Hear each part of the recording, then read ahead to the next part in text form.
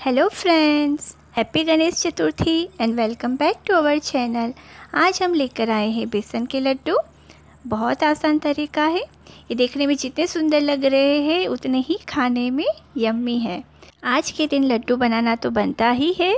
So let's start our recipe laddoo बनाने के लिए हम लेंगे one big bowl besan one small bowl PC हुई चीनी one small bowl ghee one small bowl छोटे कटे हुए काजू बादाम के टुकड़े एंड वन टेबलस्पून इलची पाउडर अब हम एक पैन में घी डालेंगे। हम आधा बाटे ही घी डालेंगे, बाकी का घी रख देंगे। जब घी गर्म हो जाए, तब इसमें हम धीरे धीरे बेसन डालेंगे। ये हमने बेसन डाल दिया है। अब हम इसको चम्मच से हिलाते रहेंगे। इसे आपको धीमी आँच पर ही पकाना है। घी और बेसन को अच्छे से मिक्स करें और चम्मच से इसको हिलाते रहें। देखिए इसका टेक्सचर और कलर चेंज हो रहा है। जब बेसन गर्म होता है तो बहुत अच्छी खुशबू आती है।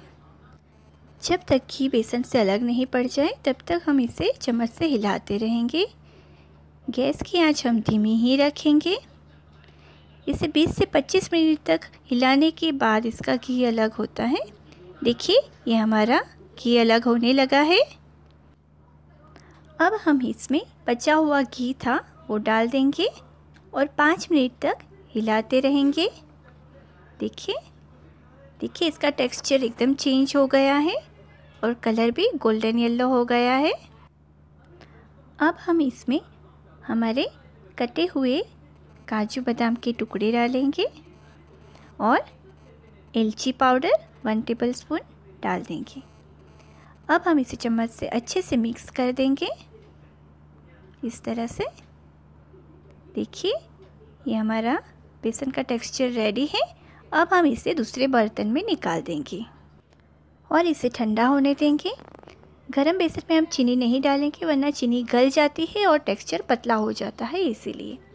हमारा बेसन अच्छे से ठंडा हो गया है। अब हम इसमें कसा हुआ सूखा नारियल डालेंगे वन स्मॉल बाउल और पिसी हुई चीनी डालेंगे।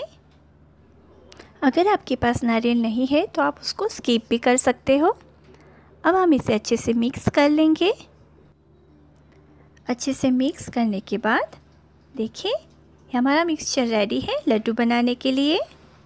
थोड़ा सा मिक्सचर हाथ में ले और इसे गोल गोल लड्डू का सेप दीजिए। इस तरह से। देखिए। ये रेडी है। अब हम इस पर बादाम का टुकड़ा लगाएँगे। आप काजू या पिस्ता भी लगा सकते हो। देखिए, हमारे बेसन के लड्डू रेडी है। बहुत ही सुंदर दिख रहे हैं।